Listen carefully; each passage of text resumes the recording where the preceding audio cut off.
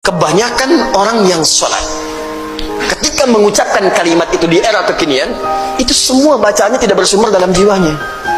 Cuman di lisan aja gitu. Coba tanyakan pada diri anda ketika sholat. Masuk nggak bacaan itu ke hati anda? Dibaca nggak dengan sepenuh jiwa? Jangan-jangan cuma takbir Allahu Akbar Tapi nggak nyampe ke jiwa. Beda kalau nyampe ke jiwa bu. Pak Abu Bakar tuh sampai gemetaran mengucapkan itu.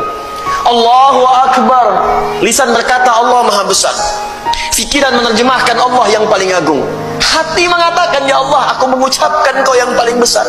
Aku takut setiap hari mengucapkan kau yang paling besar Tapi aku selalu merasa paling besar dibandingkan orang lain. Sombong dengan orang lain.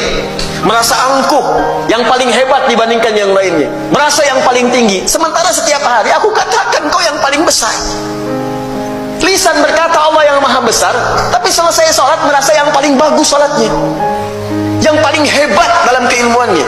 Yang paling tinggi status sosialnya. Katanya Allahu Akbar, tapi setiap hari merasa Akbar. Itu kalau benar-benar sholatnya demikian dalam jiwa, itu baru takbir sudah menangis Pak.